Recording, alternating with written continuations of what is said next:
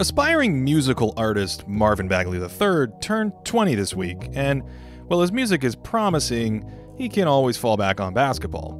Bagley's listed at 6'11, but moves with a fluidity that's rarely seen in a player of his size. He's already a certifiable scoring machine, armed with a jumper and all kinds of spins and hooks that big men only dream of.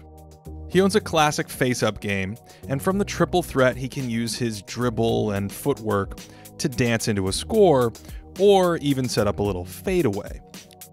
He's got wonderful touch in the lane, especially with these little hook shots, and his quick elevation and agility help him release these cleanly against most defenders. He'll claim position too. Notice this seal into Draymond Green, and then the skyscraper release over the top for two. He's already dangerous in transition, using that speed to outrace bigs down the court, and his athleticism to finish at the rim, or snatch lob passes for easy dunks.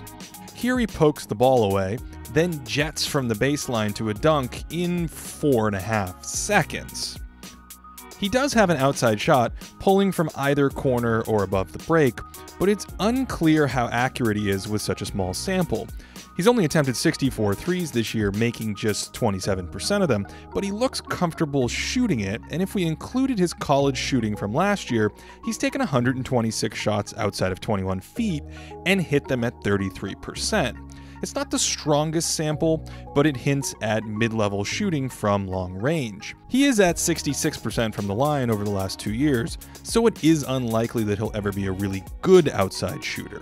He does get to the line a lot, pressuring opponents with that face up game, and he'll even initiate contact at times. He's already in the 91st percentile in free throw attempts per possession, and he takes a free throw for every two and a half field goal attempts, a rate that sits in the top quartile among rookies with the same scoring frequency or better since the inception of the shot clock. And 26 of those 30 rookies with Bagley's scoring volume and free throw rate became All Stars, and many of them ended up in Springfield in the NBA Hall of Fame.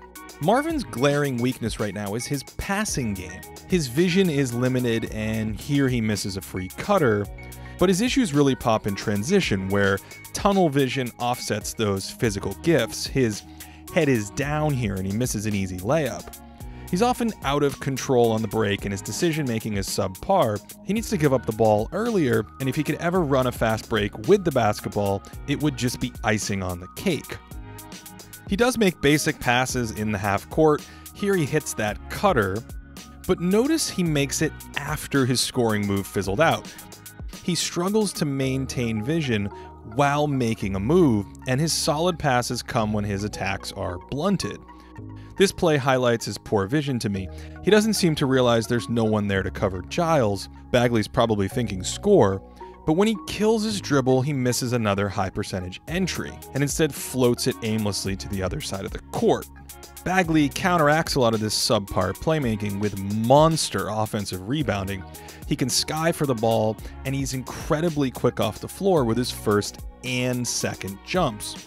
He also has the swim move of a great pass rusher, using his man's box out leverage against him to teleport around him for inside position. If we compare Bagley's scoring and rebounding combination to young rookies over the years, only a few have topped his scoring rate of 19 points per 75 possessions, while grabbing at least 14% of the available rebounds.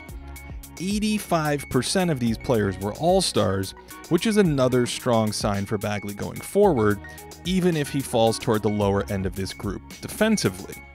Marvin had a shaky defensive reputation at Duke, but he's not a lost cause on that end. That quick bounce and length give him some shot blocking ability. He's extremely quick off the ground. And all of that athleticism helps him be disruptive at times. His length not only helps him on the glass, but gives him the potential to clog passing lanes and switch onto perimeter players and bother them with long contests. The emphasis here, though, is on potential, as he's currently a bag of mediocrity when it comes to defensive awareness. In fairness, he rarely has blatant breakdowns like this one here, where he doesn't recognize this as a pick and roll threat. Instead, most of Bagley's defensive struggles are more subtle. Take this play, where he's a touch late reacting to this roll threat by sticking to Andre Iguodala of All Warriors, and instead of a vertical challenge, Bagley has a habit of sort of flying past the hoop. Or here, where he lingers in the lane for an extra beat after Gay picks up his dribble, and this leads to some skateboarder closeout on Bertans and cracks Sacramento's defense open. Here's a lack of strategic awareness, where he waits at the foul stripe for his man instead of identifying that a streaking Jaylen Brown might be a problem for the smaller De'Aaron Fox. Bagley's quite vulnerable to up fakes, and his desire to leap at the sign of a shot hurts his man defense, and he hangs for so long when he commits to the block that it takes him out of the play. He's so athletic that this occasionally works, but it's not ideal to treat paint defense like some jump ball contest. It's an easy approach to exploit. Here, one extra step leaves Bagley grasping at air after he was winding up for his jump. Marvin's footwork has issues as well. He takes giant strides, that's about a seven foot step there, and this can cross his feet up badly. Again, notice the long strides instead of quicker, smaller steps. Bagley is agile and has nimble hips, so he has some recovery on these kinds of plays, and he does a great job making this into a tough look for Ben Simmons. His physical tools might make him switchable in the future, but he has a lot to iron out when it comes to these technical weaknesses. Some reps will likely clean up the sloppy rookie mistakes, but his defensive awareness is a real question mark moving forward. He can learn to stay down on these up fakes, but I'm doubtful that he can ever really be a good team defender given some of his blind spots. Coordinating ball and man isn't easily learned. Bagley's subpar defense not only drags down his impact metrics, but raises questions about his ceiling. Big men who struggle defensively are hard to build around, and while I'm optimistic he can evolve into a solid defender, it does give him a wide range of plausible outcomes. His game has an old school quality to it great isolation scoring and offensive rebounding, but he's an unknown as a floor spacer. His passing should develop a bit in time, and the historical company he has kept as a teenager is extremely encouraging. But the game is different today, which only clouds the picture even more.